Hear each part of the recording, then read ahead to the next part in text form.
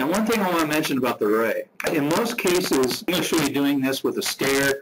I'm also going to lay out a real quick couple tips and tricks on just getting some curtain wall look uh, to my model in a very fast way. One of the things about array is in most cases, not all cases, uh, like if I'm doing singular lines, it's not so much, but if you have something like this stair, it automatically groups it. Now we haven't really gone down this road of groups just yet, so this is kind of leading us into that.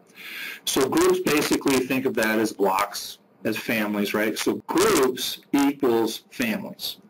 So that's all you got to get brainwashed about. Groups equals families. So groups basically you can give them names, you can copy them around, or in this case, array. And then if you modify one, it updates everywhere. That's the beauty of the whole thing. So working with array, so let's kind of break this down just a little bit. So let me come back here. Let me open up another file. And let's see here. So looking at stairs, right? At some point, we're all going to have to build these things. So let's let's try to understand how to draw them ASAP. Okay. So if I come in here, I'm just going to draw a rectangle down on the ground. So let's just say uh, they're one foot six deep, and let's just say for the fun of it, they're five feet. All right, and then I'm going to make my life easy. I'm going to say that they're six inches. Now, I want to array this, so what I'm going to do is I'm going to double click, right? That selects all edges. And then I'm going to right click, and then on my right click, I'm going to grab my array tool. Now, what's cool about the array tool is you got length, which I'll show you here dealing with curtain walls, um, and length between two points. So in this case, I'm going to grab length between two points. I know that there's six inches, so I'm thinking 10 feet here, so I'm going to need 10 of these guys. And I pick OK, and then all I do is I snap onto here. How cool is this? And then I snap onto here, and then I got stairs. Now the beauty is, is do you see how there's double boxes going around that stuff? So that's your basically your graphical display that that is now a group.